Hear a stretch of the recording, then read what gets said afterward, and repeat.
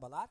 Denk kesirler ve denk kesirlerde sıralama, kesirleri genişletme ve sadeleştirme videomuzda yine birlikteyiz. Aynı büyüklüğü, çokluğu ifade eden kesirlere denk kesirler denir. Denk kesirler aynı zamanda birbirine eşittir. Verilen şekillerin boyalı kısımlarını kesir olarak altlarına noktalı yerlere yazarsak arkadaşlar, baktığımızda arkadaşlar burada bir bütün 3'e bölünmüş, bir tanesi taranmış, 1 bölü 3 ifade etmekte.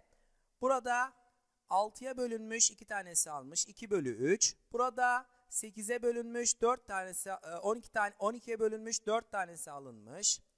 Burada 4'e bölünmüş bir tanesi alınmış.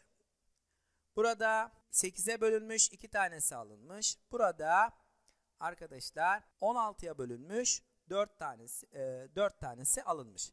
Baktığımız zaman arkadaşlar bu 1 bölü 3 ile 1 bölü 6 eşit büyüklüğü ifade ettiği için, eşit çokluğu ifade ettiği için burada bu birbirine denktir arkadaşlar. Aynı zamanda eşittir. Burada da arkadaşlar 4'e bölünmüş 1 alınmış. Bu da buna eşit. Burada da 8'e bölünmüş ikisi alınmış. 16'ya bölünmüş 4 alınmış. Bu da birbirine eşit ve denktir. 1 bölü 2, 2 bölü 4, 4 bölü 8, 2 bölü 3, 4 bölü 6, 8 bölü 12. Baktığımızda arkadaşlar burada bir bütün 2'ye bölünmüş, yarısı alınmış, 4'e bölünmüş, yine 2 bütün almış, yarısı alınmış. Bu iki kesir birbirine denktir. Arkadaşlar baktığımızda bu da 8'e bölünmüş, yarısı alınmış. Yine bu da bu üçü birbirine denk. 2 bölü 3, 4 bölü 6, ve 8 bölü 12'de bakın aynı büyüklüğü, aynı çokluğu ifade ettiği için bakın aynı büyüklük ve aynı çokluğu ifade eden kesirlere denk kesirler denir ve birbirine eşittir. Bakın burada aynı büyüklük alınmış, aynı büyüklük ve aynı büyüklük alındığı için bu kesirler birbirine denktir diyoruz. Bir kesre denk olan kesirler bulmak istersek hem payı hem de paydayı aynı sayı ile çarparız. Bu işlemi arkadaşlar genişletme diyoruz. Bir kesirin genişletmek için tablodaki kesirlerin ve pay ve paydasını 2, 3, 4 ile çarparak genişletebiliriz. Örnek yapalım arkadaşlar. 2 bölü 3, küsü, 2 bölü 3 kesirinin denk kesirleri pay ve paydayı 2 ile çarparsak, pay ve paydayı 3 ile çarparsak 6 bölü 9. Pay ve paydayı 4 ile çarparsak arkadaşlar 8 bölü 12 hepsi birbirine denktir. İkinci kesrimizi yapalım. Pay ve paydayı 2 ile çarptığımızda 6 bölü 8. 3 ile çarptığımızda 9 e, bölü 12. 4 ile çarptığımızda 12 bölü 16 çıkar. Arkadaşlar önce 2 ile çarptık. 3 ile çarptık pay ve paydayı. 4 ile çarptığımızda bakın denk kesirleri bulduk. 1 bölü 5 kesirini 2 ile genişlettiğimizde arkadaşlar 2 bölü 10. 3 ile genişlettiğimizde 3 bölü 15. 4 ile genişlettiğimizde ise 4 bölü 20 buluruz. 4 bölü 10 kesirini genişletelim. Önce 2 ile genişlettik. 8 bölü 20. 3 ile genişletirsek arkadaşlar 3 e, kere 4 12 bölü 3 kere 10 30. 12 bölü 30. 4 ile genişlettiğimizde arkadaşlar 4 kere 4 16 bölü 40 buluruz. Burası 16 bölü 40 olacak. Arkadaşlar 5 bölü 6 kesirini 2 ile genişlettiğimizde 6 bölü 12. 3 ile genişlettiğimizde 15 bölü 18. 4 ile genişlettiğimizde 20 bölü 24 buluruz. Kesirleri genişletmeye biraz daha ayrıntılı bakarsak Günce ile Nejat eş büyüklükte birer tane simit aldılar. Günce simidin 1 bölü 3'ünü, 3'te 1'ini, Necat ise 6'da 2'sini yedi. İkisinin yedikleri simidin miktarını karşılaştıralım.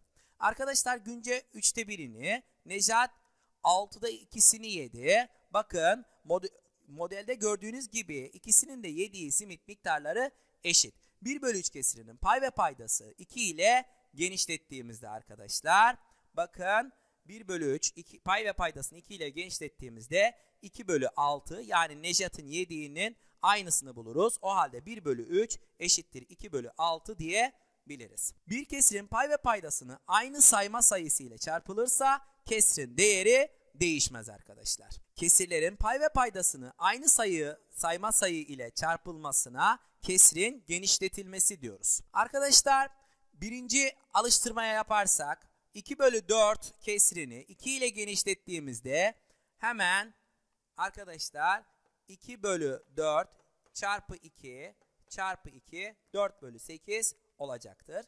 3 bölü 16 kesirini pardon 4 ile genişlettiğimizde 4 ile çarparsak arkadaşlar 3 kere 4 12 6 kere 20 12 bölü 24 buluruz. 4 bölü 9 kesirini 3 ile çarptığımızda çarpı 3 çarpı 3 yaptığımızda cevabımız ne olur? 3 kere 4 12 3 kere 9 27 12 bölü 29. Yine 5 bölü 8 kesirini 6 ile genişletirsek arkadaşlar 6 kere 5 30 6 kere 8 48 olur. Yine 6 bölü 17 kesrini 7 ile genişlettiğimizde arkadaşlar ne buluruz? 42 bölü 119 buluruz. 5 bölü 12 kesirini 4 ile genişletirsek arkadaşlar pay ve paydayı 4 ile çarptığımızda bakın 5 kere 4 20 bölü 48 buluruz. Kesirleri sadeleştirme Arkadaşlar kesirleri sadeleştirme genişletmenin tam tersi. 6 bölü 9 kesirini sadeleştirerek bu kesire denk bir kesir yazalım. 6 bölü 9 kesirir. 6 ve 9'u kalansız bölebileceğimiz sayı 3'tür arkadaşlar. Düşüneceğiz. 6 ve 9'u ben kalansız şekilde kaça bölerim diye düşüneceğiz. Ve aynı sayıya böleceğiz. Yani 6'yı 3'e böleceğiz. 9'u 3'e böleceğiz. Yani 2 bölü 3 bulacağız. O halde 6 bölü 9 eşittir 2 bölü 3 diyoruz. Bir kesirin pay ve paydası aynı sayma sayısına bölünürse kesirin değeri değişmez arkadaşlar. Pay ve paydasının aynı sayma sayısına bölünmesine ise kesirin sadeleştirilmesi denir. Hemen sadeleştirme işlemlerine örnek verelim. Arkadaşlar 2 bölü 4. Ben pay ve paydayı kalansız kaça bölerim? 2'ye bölerim. O halde ne olur? 1 bölü 2 olur. 3 bölü 6 kesrini pay ve paydasını her ikisini de 3'e bölersek arkadaşlar 3 ile sadeleştirirsek 1 bölü 2 buluruz. 15 bölü 25 kesrini 5 ile sadeleştirirsek pay ve paydayı 5'e bölersek arkadaşlar ne buluruz? 3 bölü 5 buluruz. 12 bölü 24 kesrini 6 ile sadeleştirdiğimizde 12'yi 6'ya bölersek 2, 24'ü 6'ya bölersek 4. 24 bölü 35 kesinin 7 ile kalansız böleceğimiz için 7'ye böldük. 14 bölü 7 2, 35 bölü 7 5. 27 bölü 81'i 9'a böldüğümüzde arkadaşlar şöyle yapalım. 27'yi 9'a bölelim. 81'i 9'a bölelim arkadaşlar. 27'yi 9'a böldüğümüzde 3 bölü 9 buluruz. Tren vagonlarında kesirlere denk olan kesirlerin aynı vagona boyayacağız. boyayacağız. Pay ve paydayı 2'ye böldüğümüzde arkadaşlar ne olacak? Pay ve paydayı 2'ye böldüğümüzde buluruz. Pay ve paydayı 5'e böldüğümüzde 9 bölü 15, 18 ve 27 ortak neye bölünebilir? Her ikisi de ortak 9'a bölünebilir. Pay ve paydayı 9'a bölersek arkadaşlar ne olunur? 2 bölü 3. Burada pay ve paydayı arkadaşlar 15'e bölersek ne olur? 1 bölü 2. Pay ve paydayı 10'a bölersek arkadaşlar 1 bölü 4. Pay ve paydayı arkadaşlar pay ve paydayı 4'e bölersek 4'e böldüğümüzde arkadaşlar 4 bölü 9. Yine pay ve paydayı 13'e bölersek 13'ü 13'e bölersek 65'i 13'e bölersek 1 bölü 5 buluruz. Aşağıdaki ifadelerden bazıları doğru bazıları yanlıştır. Doğru olanlara D yanlış olan Y, koyalım. Arkadaşlar işlemlerinde kare yerine 8 yazılmalıdır. Bak arkadaşlar bu kaç kat alınmış? 2 kat genişletilmiş. O halde bunun da 2 ile 2 kere 4 8. O halde birinci ifademiz ne olacaktır? Doğru. Baktığımızda arkadaşlar sadeleşmiş kaça bölünmüş? 2'ye. Yukarısı da payda kaça bölünecek? 2'ye bölünecek. 8'i 2'ye bölersek ne bulunur? 4. Ama burada 3 yazılmalı. Payları, paydaları eşit olmayan kesirleri karşılaştırma yapalım şimdi arkadaşlar. Boş bir havuzu bir musluk 1 bölü 4 saatte dolduruyor. Başka bir musluk 2 bölü 3 saatte dolduruyor. Hangi musluk daha kısa da sürede havuzu doldurur? Arkadaşlar şurada baktığımızda 1 bölü 4 bu kadar bir alanı 3 bölü 2 bu kadar bir alanı. Baktığımızda hangisi daha çok? 3 bölü 2 daha çok. Peki biz bunları karşılaştırmayı nasıl yapacağız? Buna göre ikinci musluk daha kısa sürede havuzu dolduracaktır. Yani 1 bölü 4 küçüktür, 2 bölü 3 ya da 2 bölü 3 büyüktür, 1 bölü 4 şeklinde ifade ederiz. Kesir sayıların pay ve paydaları farklı olanları karşılaştırırken payı ya da paydayı eşitleyeceğiz arkadaşlar. Pay veya payda eşitlenirken pay ve payda da aynı sayı ile çarpılır. Yani genişletilir. 1 bölü 4 ile 2 bölü 3 kesirini arkadaşlar nasıl yaparız? Payı veya payda eşitleyeceğiz. Hangisini daha kolay eşitleyebiliriz? Payları eşitleyebiliriz arkadaşlar. Payları eşitlediğimiz zaman 1 bölü 4 pay ve paydasını 2 ile çarptığımızda ne olur? 2 bölü 8. Baktığımızda paylar eşitse arkadaşlar paydası küçük olan büyüktür. O halde 2 bölü, 1 2 bölü 8 küçüktür. 2 bölü 3'ten diyoruz. Arkadaşlar baktığımızda ne yapabiliriz? Payları eşitleyebiliriz. Burayı neyle çarpacağız? 2 ile. Pay ve payda 2 ile çarparsak ne olur? 2 bölü 10. Paylar eşitse paydası küçük olan büyüktür. O halde ne yapıyoruz? 2 bölü 3 daha büyüktür. Baktığımızda arkadaşlar nereye eşitleyebiliriz daha kolay? Paydaları eşitleyebiliriz. Burayı 5 ile burayı 4 ile eşitlersek ne olur? 2 kere 5 10.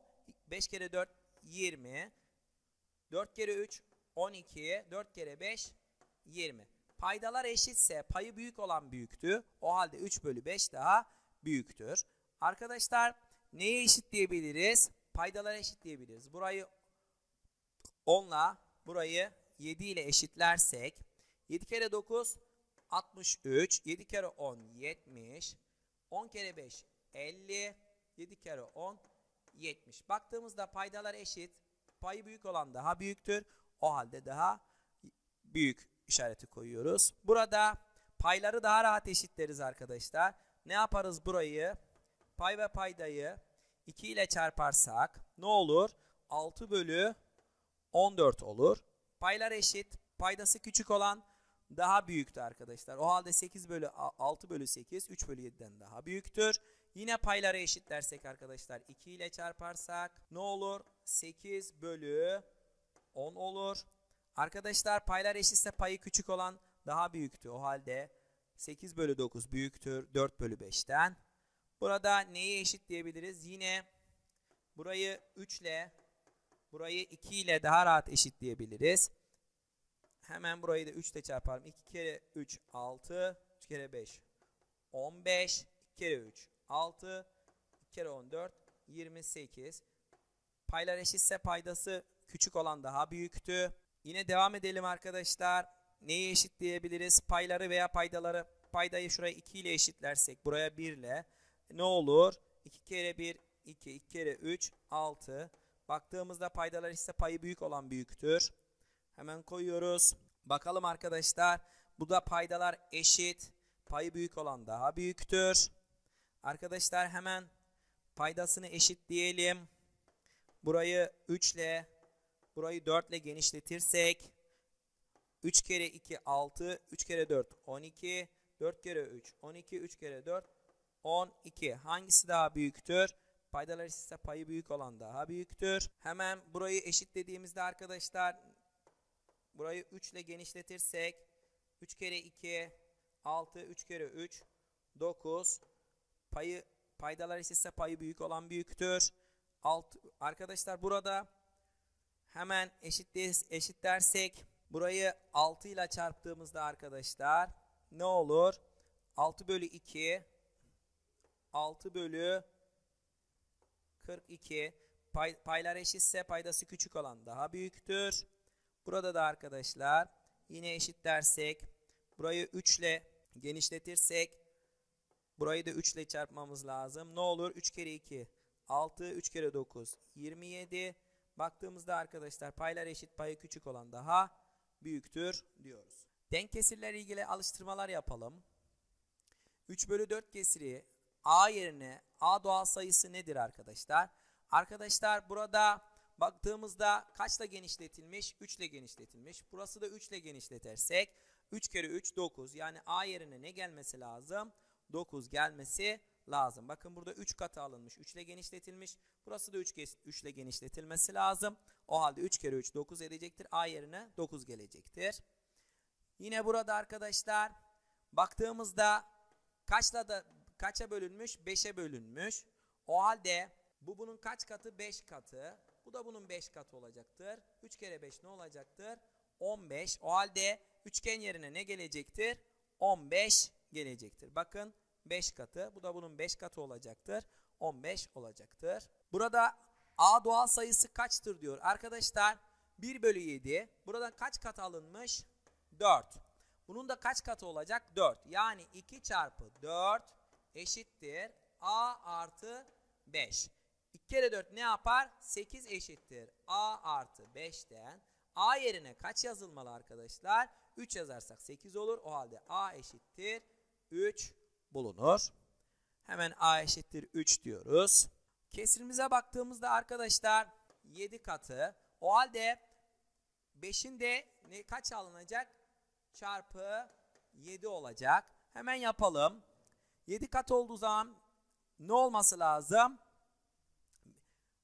5 kere 7 35 olması lazım. Yani kare eksi 27 eşittir 35'ten kare yerine ne yazarsak e, 35 olur. Burada eksilerini bulmak için topluyorduk arkadaşlar. 35'ten 27'yi toplarsak hangisidir diyor arkadaşlar. Bakalım kaç katı alınmış?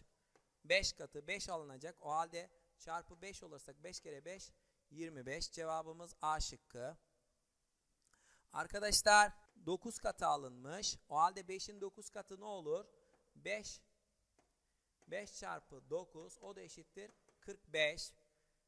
Peki üçgen artı 9 eşittir 45 olması gerekiyor. Üçgen ne olur arkadaşlar burada? Alırsak 36. Evet.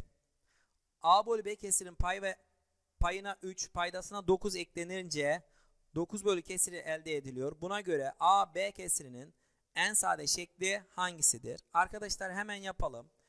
A bölü B kesirine payına 3 paydasına 9 eklenince ne oluyormuş? 9 bölü 21.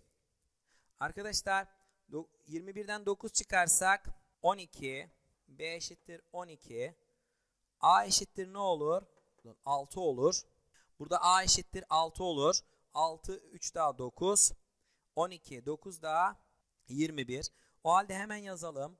6 bölü 12'nin en sade şekli her tarafı 6'ya bölersek 1 bölü 2 bulunur.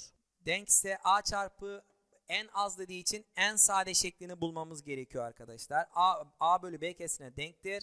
A çarpı B aşağıdakilerden hangisidir? En sade şeklini bulursak en azı buluruz. En sade olduğu için ikisinin de en büyük ortak bölenine bölmemiz gerekir. İkisinin de en büyük ortak böleni 6'dır arkadaşlar. 6'ya bölürsek 3, 6'ya bölersek 5, 3 kere 5, 15 bulmuş oluruz. Fıstık Fenci YouTube kanalına abone olup like atmayı unutmayın. Beni dinlediğiniz için teşekkürler arkadaşlar.